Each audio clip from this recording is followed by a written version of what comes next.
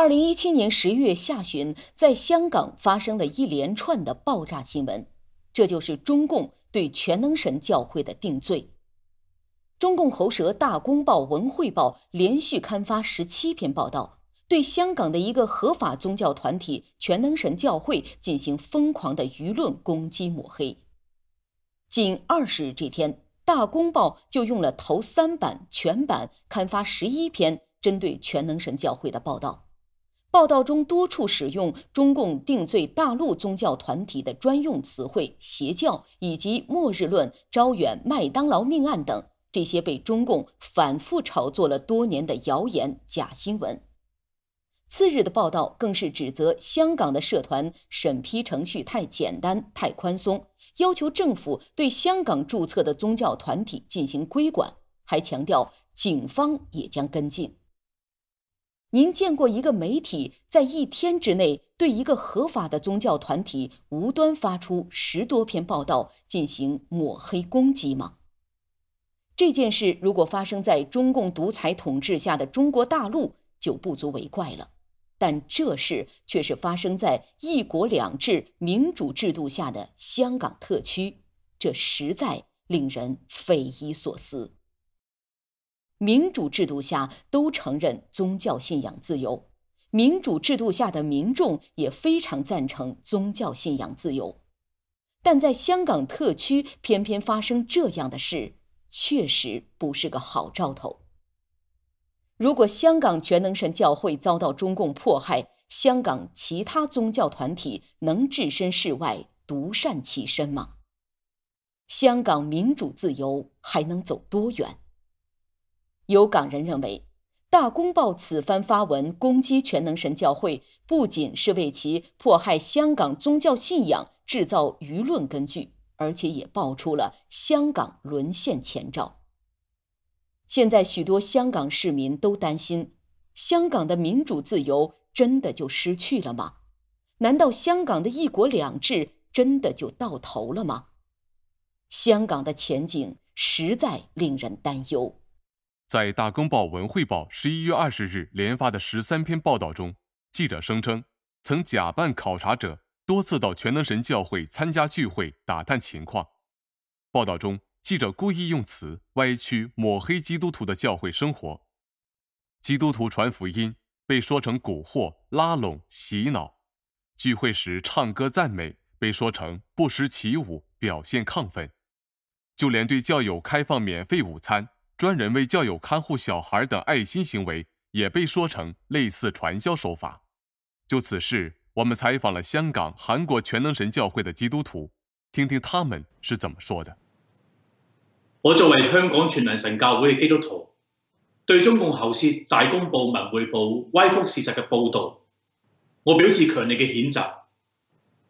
对中共插庄教和抹黑全能神教会。我亦都表示强烈嘅谴责同埋抗议。全能神教会系向全世界公开开放嘅，点解大公报记者唔可以正大光明嚟到考察呢？系都要用呢种偷偷摸摸、鬼鬼祟祟嘅手法嚟到调查我哋教会，而且记者仲潜伏喺我哋教会咁耐，我觉得呢度好可能有政治任务。기자가전공의사주를받고 온갖 방법으로 교회에 침투해 에, 교회에 대해 알아보았는데 에, 전능하신 하나님 교회를 정리할 수 있는 아무런 증거를 제출해내지 못하고 있습니다. 전능하신 하나님 교회 크리스찬이 범죄한 사실이 있다면 법적으로 고소하고 법의 근거에 법의 조항으로 어, 반박을 해야 어, 이치로 사람을 설득할 수 있지 음, 거짓을 지어내고 또 어, 사실을 애고가는 글을 발표해 교회를 공격하고 논단하고 정죄하지 말았으면 합니다. 예, 중국 공산당이라는 이렇게 크고 큰 예, 크고 당당한 집권당이 왜 이런 비열한 짓을 할까요? 事实上，造谣抹黑是中共最擅长的手段。例如， 二零一二年宣扬世界末日制造混乱，以及二零一四年山东招远麦当劳命案，这些谣言和假新闻已被全能神教会人权人士、西方学者揭露过多次。如今，《大公报》又把中共那套谣言和假新闻拿到了香港，妄图欺骗不明真相的香港市民，以达到中共在香港迫害全能神教会、迫害宗教信仰的罪恶目的。然而，谣言永远是谣言，谣言永远掩盖不了真相。十一月二十八日。九家国际非政府组织联名谴责中共在韩国、香港、台湾等地制造舆论，抹黑、攻击全能神教会。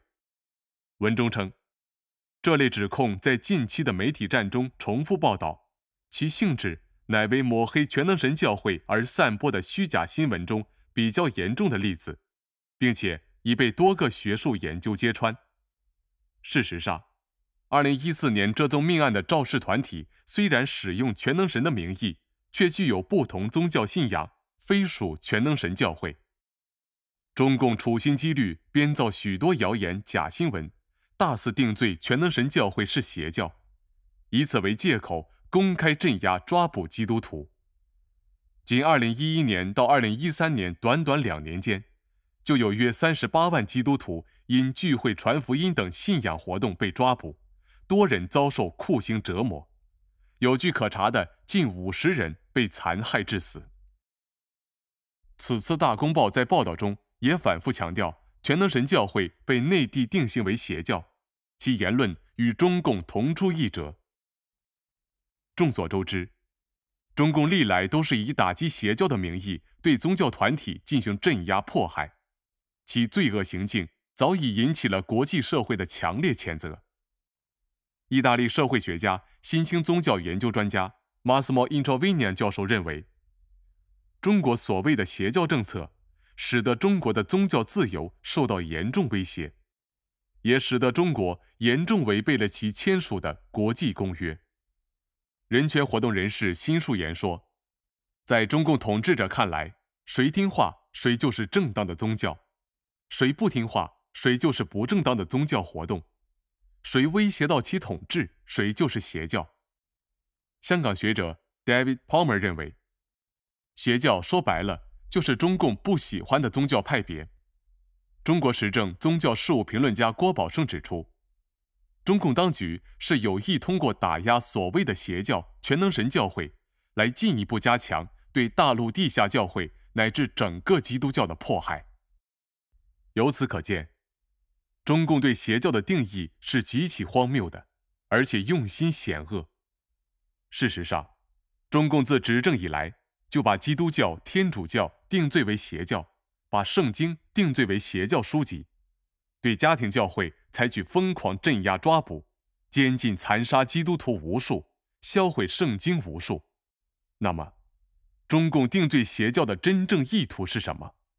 到底什么才是真正的邪教呢？让我们听听全能神教会基督徒的看法。中共本身是无神论政党，他根本就没有资格评论信神的事，更没有资格定罪任何一个宗教团体。他给他根本无法控制的教会，都给贴上邪教的标签，然后呢，以打击邪教的名义，施以残酷的镇压。这样是中共当局为了维护自己独裁统治的一贯做法。他的目的呢，很明显，就是想取缔宗教信仰。那么，到底什么是真正的邪教呢？可以这样说：，凡是违背天意、逆天而行的，就是邪教。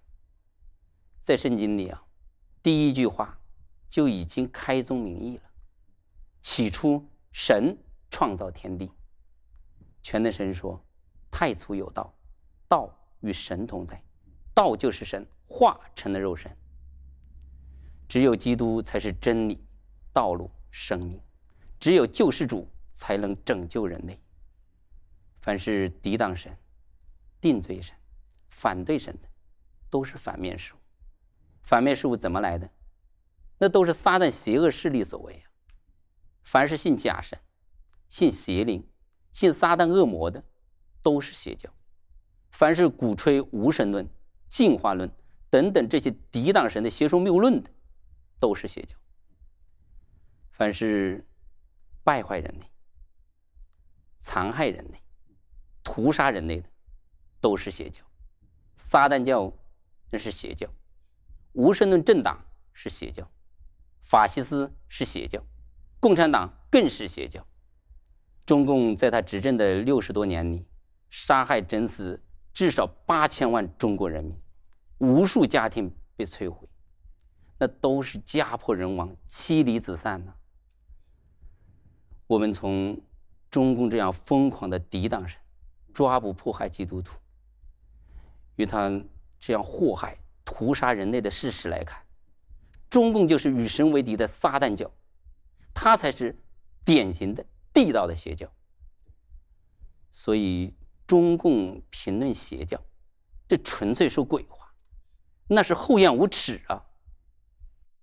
中共是他无论做什么事情，首先是制造舆论、抹黑定罪，紧接着他就要采取暴力镇压、啊迫害，这就是中共啊打击异己、迫害宗教的。一贯的手段，就像震惊中外的六四事件，镇压西藏少数民族事件，法轮功的焚烧事件，招远麦当劳命案等等，他都是如此炮制。所以，中共很有可能在韩国、香港、台湾等国家地区。制造类似像山东招远麦当劳案件一样，或者制造其他恐怖事件，嫁祸给全能神教。中共宗教政策嘅头部方式就係要取締一切嘅宗教信仰。喺二零一四年，中共喺山東招遠構製咗一單麥當勞命案，之後就以打擊邪教嘅名義喺全中國迫害家庭教會，有好多家庭教會都被迫關閉。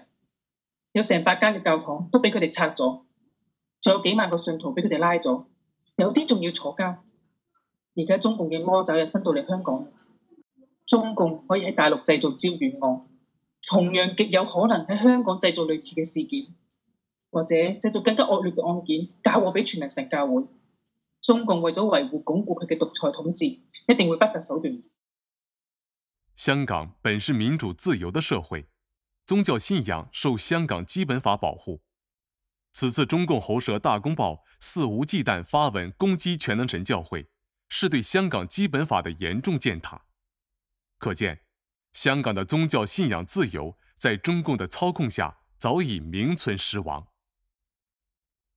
中国时政宗教事务评论家郭宝胜在《一国两制下香港信仰自由的谎言》一文中谈到。自一九九七年香港主权移交后，中共一方面耗巨资渗透香港宗教界，扶植其代理人，使香港天主教、基督教、佛教等宗教界众多头面人物为他说话；同时，对不服从中共的宗教人士则进行打压。另一方面，香港到内地家庭教会宣教的人士，一经发现，轻则驱离，重则罚款拘留。二零一五年七月，国家安全法颁布后，中共威胁香港牧师不得向大陆人传教，无论是网络传播还是地面培训都不允许，引发香港宗教界很大震动。我们从二零一五年香港的铜锣湾书店事件，已经让人见识了中共践踏一国两制、越境执法的红色恐怖，而控制香港宗教界、剥夺香港宗教信仰自由。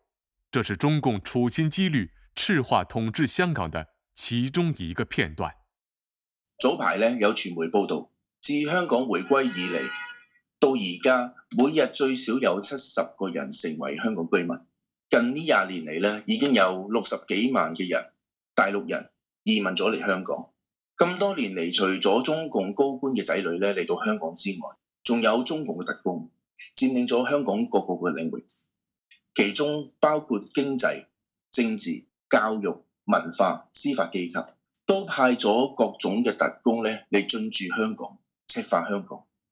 凡係反對共產黨嘅，都要被排斥在外。在香港回歸二十週年之際，中共外交部發言人公開宣稱，中英联合声明作为一个历史文件，不再具有任何现实意义。习近平在讲话中也只谈一国，不提两制，并在十九大上反复强调中央对港有全面管制权。随着四名民主派立法会议员被剥夺议员资格，国歌法在香港立法，一地两检通过，李飞在港强推国安法，中共喉舌攻击定罪全能神教会。近日也有政府高官直言，共产党要直接管理香港了。中共正加速赤化香港，一国两制已名存实亡。香港的法治、人权、民主、自由还能坚持多久呢？感谢您收看本期节目，我们下期再会。